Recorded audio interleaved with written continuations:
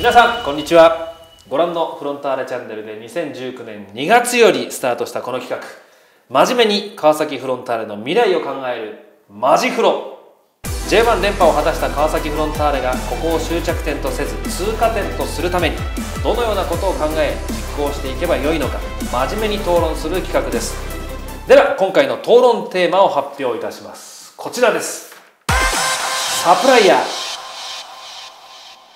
では今回のコメンテーターをご紹介しましょう。2011年から川崎フロンターレのオフィシャルスポンサーまたサプライヤー契約を結んでいます。プーマジャパンスポーツマーケティング本部の郷志拓也さんです。郷志さんよろしくお願いします。よろしくお願いいたします。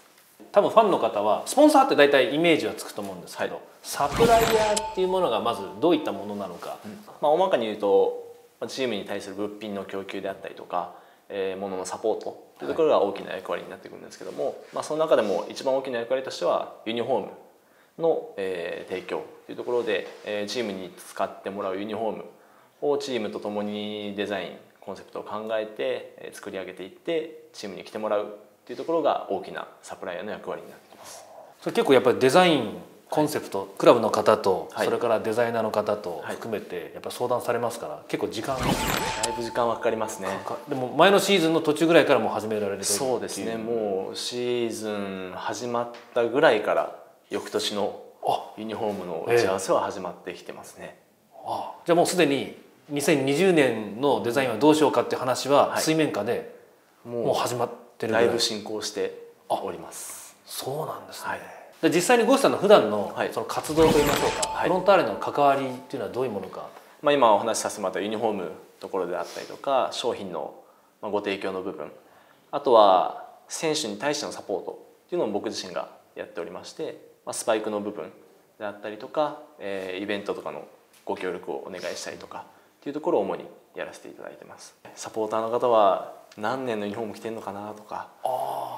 はい、プーマのユニフォーム着てくれてるのかなっていうのも日々こうスタジアムで見ながらやってますし、ええ、まあ、練習場に行ったら練習場の時もユニフォーム着てくれてるサポーターの方いらっしゃるのかなとか、うん、選手に対して「スパイク今日は大丈夫ですか?」とか「何か違和感ないですか?」っていうような、えー、サポートを日々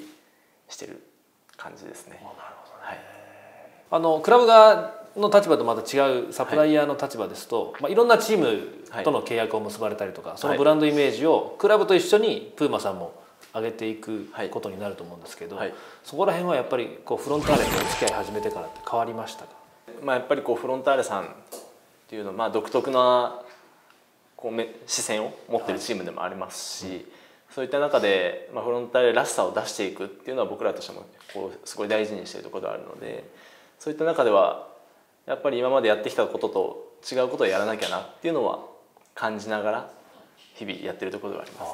ね。連覇しましたので、はい、まあ、そのメディアの露出も増えましたし、はい、これはすごく良かったと思うんですけど、はい、そのプーマさんとして変わったところってここ数年？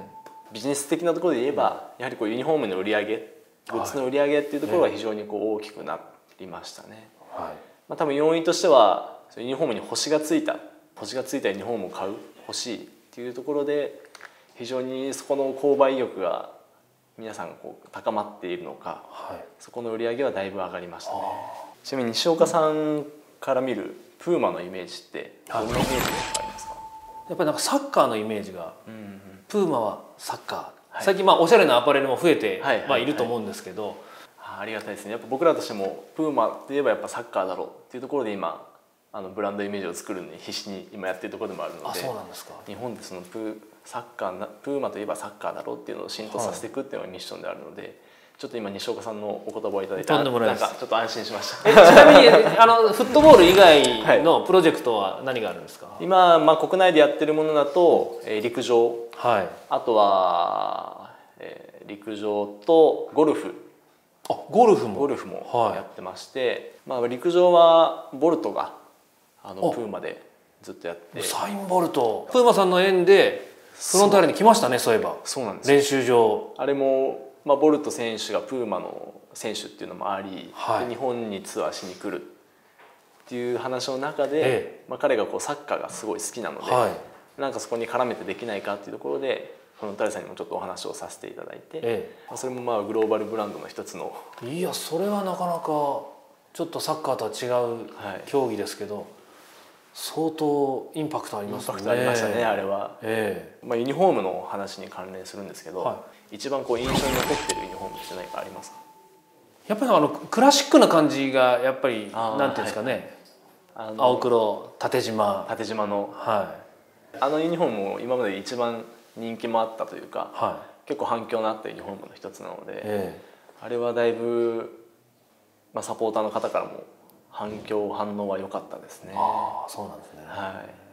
い。やっぱりななんですかね。古いからいいだけじゃないんですけど、はいはいはい。やっぱりその歴史があるその重みというか、うん。それがこうふとした時に帰ってくるっていうのはすごく